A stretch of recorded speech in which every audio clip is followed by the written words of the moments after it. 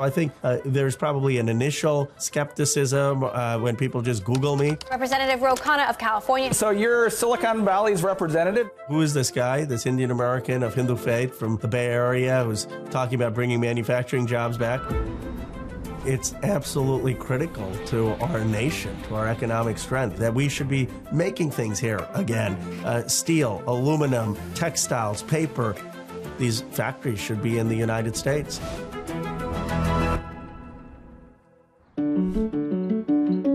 I'm Khanna. I represent Silicon Valley in the United States Congress. It's an extraordinary district. It's incredibly diverse. The 17th district is the heart of American innovation and technology. You have Apple, Google, Intel, Yahoo, Cisco, LinkedIn, Tesla, uh, all in uh, this incredible place. You have a jam packed schedule. I've heard that this is quite normal for you. Run us through what's on your plate for today. Well, we have an interview with a Vietnamese American station, and we have uh, a meeting with Starbucks workers. We're trying to unionize. We're going to have a town hall later, and uh, we have a few more events on the calendar. And I'm flying out tonight to, to, to Taiwan. So. Oh, wow. Now, wait, that's a big deal. This is the first U.S. delegation to visit Taiwan after the U.S. shot down an alleged Chinese spy balloon. One of the main things is the, the economic relationship to see how they've succeeded in building their semiconductor manufacturing, how we can uh, build semiconductor manufacturing here.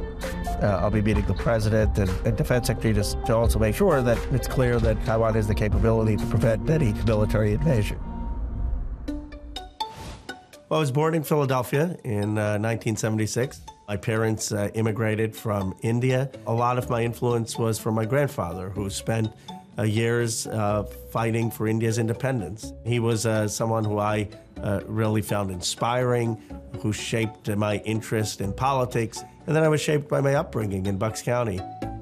My parents didn't talk as much about my rights uh, as a son of immigrants. They talked a lot about my responsibilities. They'd say, You won the lottery, you were born in America.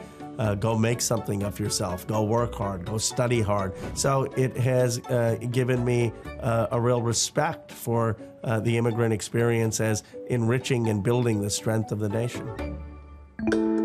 Khanna went on to teach economics at Stanford, serve in the Obama administration, and become one of the leading voices in the House working to bring American manufacturing and tech leadership back to the U.S. A new economic patriotism uh, simply means that the private sector can work with universities, community colleges, labor, the government to have a common purpose of investing uh, in America's production capability.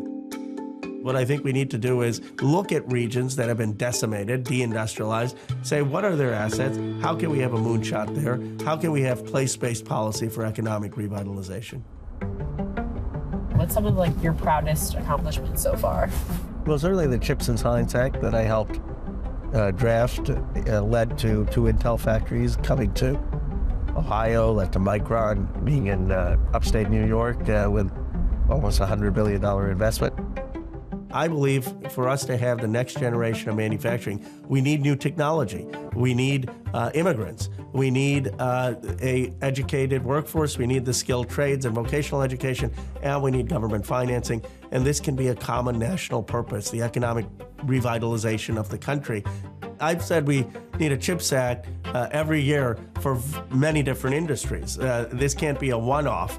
Now both parties recognize that the gutting of factory towns was a huge mistake. The offshoring of production was a huge mistake. The economic disparity is polarizing America. I've called for a $2 trillion investment over 10 years. The CHIPS Act was about 50 billion. We need to have the same urgency, the same scale to build this production base. It is a difficult uh, argument to convince people on uh, the spending. I have not gotten people to buy into the $2 trillion investment. I did the bill with Marco Rubio. He's good with 20 billion investment, which is a start. Uh, but I will continue to make it uh, that we have to go big and bold on this. It's been a long day, but uh, a good day, and we're now going to the town hall before uh, flying out. The town hall is the best part of my job. I do it every month, and we often get 200, 300 people. Sometimes we get 20, 30 people. It always makes me much more thoughtful. Hi, Congressman. I just want to thank you for inviting us. I appreciate uh, the participation here and the honor to represent you. Thank you very much.